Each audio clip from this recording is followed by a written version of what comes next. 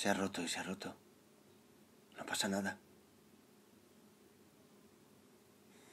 Ana, por favor, siempre lo llevas al extremo.